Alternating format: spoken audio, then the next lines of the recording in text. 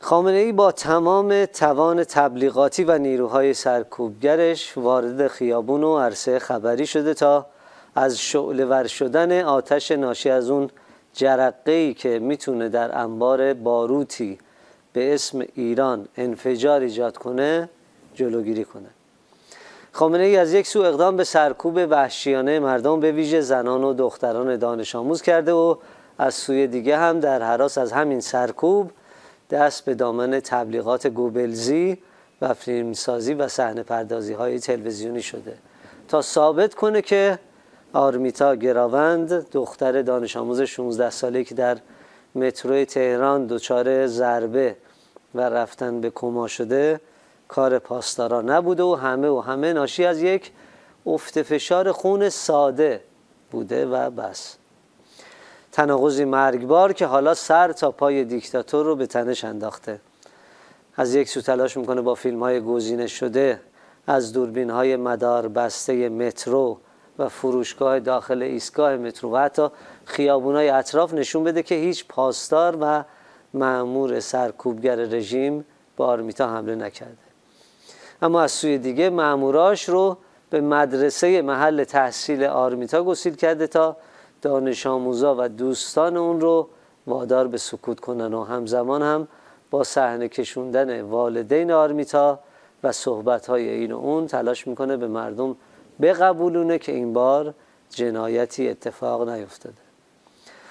اما تو تمامی این لحظات آرمیتا رو به یک بیمارستان نظامی با شرایط فوقالعاده امنیتی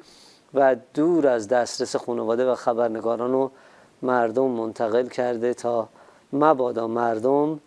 مردم به جان اومده از شر این نظام پلید با کنش های خودشون رو در خیابون ها نصار این رژیم و سرانه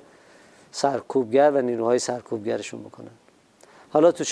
چنین شرایطی جدیدترین نشانه های حراس خامنه ای رو میشه در جمع آوری اوباش موسوم به هجابان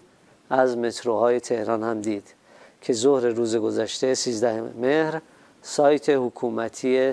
دیدبان دیدبان ایران خبرش رو منتشر کرد و نوشت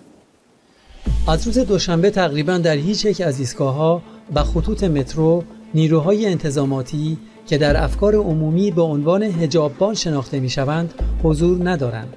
هنوز مشخص نیست غیب شدن یکباره این عوامل از سطح مترو با حادثه رخ داده برای آرمیتا گراوند ارتباط دارد یا آنکه سیاست کلی شهرداری تهران در این باره تغییر کرده است. حالا این شغل منحوس هجاببانی هم از همون اقدامات شوم و منحصر به فرد آخونده که از تقریبا دو ماه قبل با استخدام 400 مزدور حزب اللهی توسط شهرداری تهران رونمایی شد اما اکنون ظاهرا تحت تاثیر واقعی آرمیتا گراوند دستخوش توقف شده. اینکه غیب شدن هجاببانهای مردم کش و مفتخور در حراس از اقدامات تلافی جوریانه مردم بوده و رخدادی ادامه دار باشه یا نه تأثیری در اصل ماجرا نداره. مهم اینه که مردم دریافتند که دیکتاتور چقدر شکننده است.